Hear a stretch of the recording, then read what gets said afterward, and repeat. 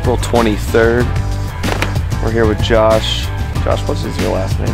Oh. Oh, okay. that was easy enough. Um, and we're gonna kill some turkeys. We killed one on Tuesday. It was a pretty awesome hunt. So Yeah, how was that, Josh? Amazing. Want to just walk us through it real quick? Well, there's one gobbler that was gobbled basically hundred times. oh yeah, he gobbled his head off. And uh, we couldn't get him to cross the river, so we crossed over ourselves and then gunned. That's right. And we got him to come in and Josh slayed him at 12 yards. Showed the patience of someone far beyond his years. Because the rest of us would have tried to shoot that thing at 40 yards That's right. when he was gobbling and strutting in front of us for a half hour. So we're gonna do it again today, Josh. All right, let's get out there and do this.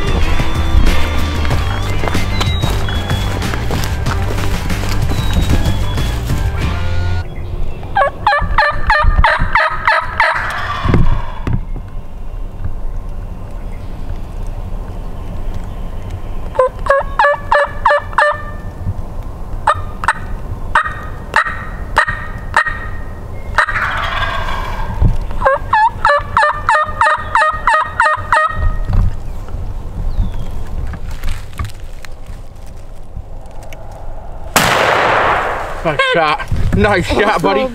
I can't believe we pulled this off. This is one of the craziest, another crazy hunt with Josh. So, starting to like the kid because he puts me through the ringer. So, He's a killer. so we get in here. We had to walk up this big hill, and uh, we heard a bird gobble because Trev did the owl hooter.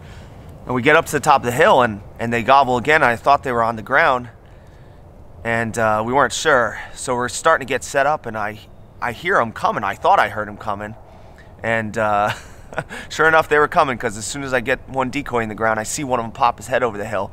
So I duck behind the decoy. Well, Josh and Trev were uh, not set up yet. So I was like, oh man, we're going to blow this. But uh, the turkey could not help the calling between me and Trev. Sounded like two birds. So eventually one of these birds came in and. And you guys can tell me because I couldn't see it because I was hiding behind the decoy the whole time. so what ended up happening, Josh? They hung out down here, and they kept going back and forth, back and forth, and we thought they were gonna come, and then they stay.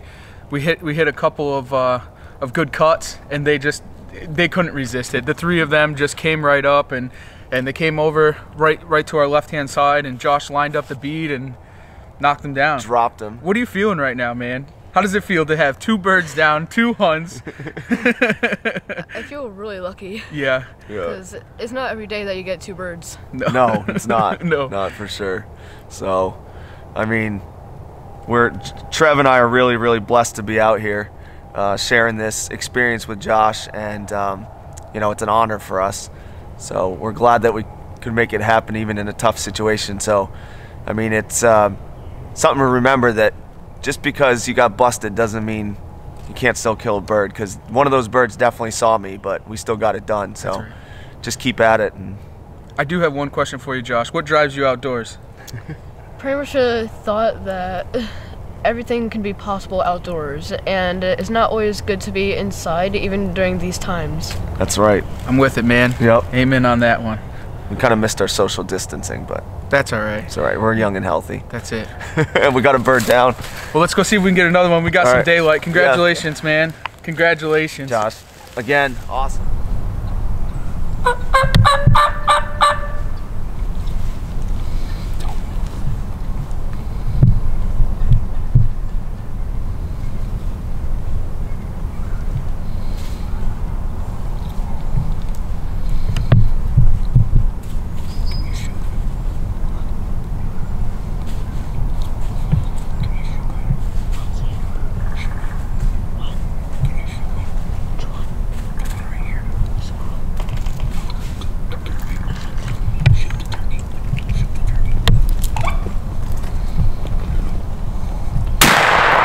Boom! yes!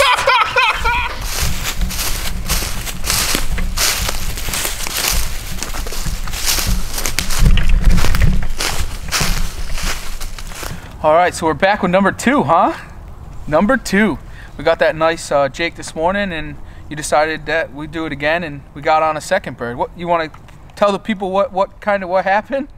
Well, he was coming from our left, and he tried going up the log that we were leaning on, and uh, you.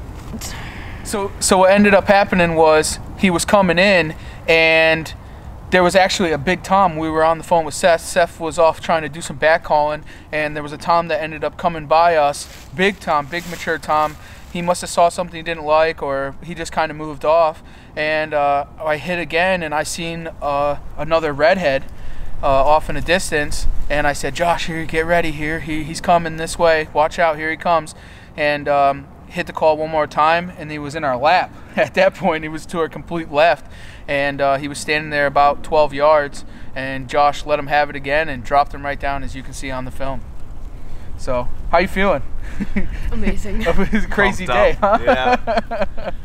we got you out here running around, killing turkeys. Well, that's number three for you, huh? Yep. For youth season. So three in what? Three days? Or it's, it's Three in been- two days. Yeah, two days. Two days of hunting and three birds on the ground. So, well, congratulations, buddy. Nice Yep, job. Good job. And I was off relieving myself while they were killing birds. So I'm glad they came in. They came in silent, weren't making no noise, so we got Yeah. it done. Yeah. awesome. Let's get up and get these things cleaned up, huh? What's the day?